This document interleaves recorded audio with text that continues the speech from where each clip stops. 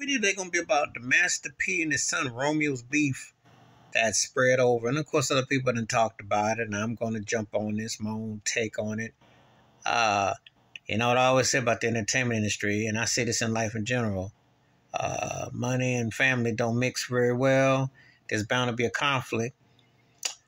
Unfortunately, Master P's daughter had died of an overdose, which was Romeo's sister. And with a certain passing, I think DJ Twitch or something, Master P acknowledged that, but his daughter got in kind of, it didn't get quite the same situation. So Romeo took it personal. And this ain't the first time with Master P, because you know, a lot of situations where Master P ain't checked out. Uh, you know, he definitely helped put New Orleans hip hop scene on the map. Obviously, No Limit was huge, and Ice Cream Man, that whole nine. However, he left a lot of lot to be desired. C-Murder's still doing time, and then Goldie in Louisiana, and that's been kind of like a suspect situation. There were other people who left kind of, I don't know, the Master P thing, but this is uh, pretty sad because Romeo has success a bit in his career and done different entrepreneur things. And of course, Master P's trying to come back with his food situation. And, you know, you just don't think that down home folk, especially down home southern folk, would be getting aired out and this would turn into something like it has. Uh, not a good look. You hope that it can be restored. You hope that cool heads can prevail.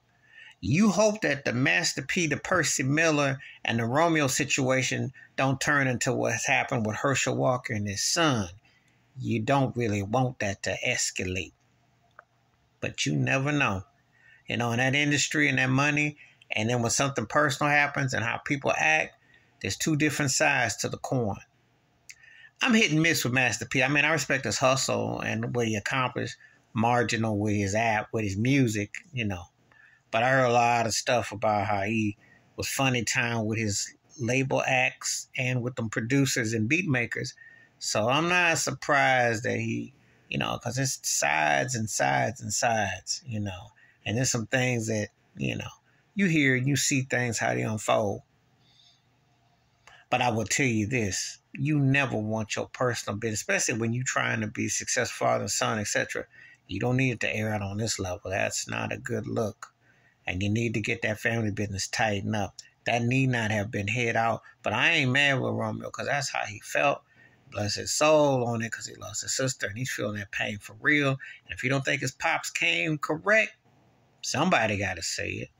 Somebody got to stop kissing the pinky ring of Master P or anybody that they think they're beyond being called out on. Because ain't nobody walk God's green or perfect, and ain't nobody above being put in check. All of us and done something. We all got to be called, especially when we're seen as heads or in positions where we're supposed to be watching out and protecting, and you come up short. Sometimes you got to get your head checked proper. Please hit like, subscribe, welcome thoughts and comments, and I do respond. Thank you. And please share the video if you want to.